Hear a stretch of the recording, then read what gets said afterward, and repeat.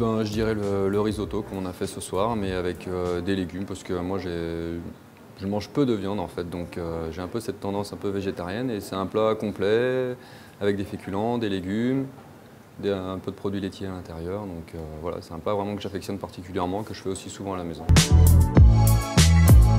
On avait organisé un repas chez Paul Bocuse avec mon ancien chef de l'Albert Ier, Pierre Carrier, avec beaucoup de grands chefs pour les 100 ans de cette belle maison en fait. Donc on avait Emmanuel Renault, beaucoup de chefs italiens étoilés, euh, donc euh, c'était vraiment un beau souvenir. Euh, j'étais encore jeune commis, mais non, c'était un beau souvenir.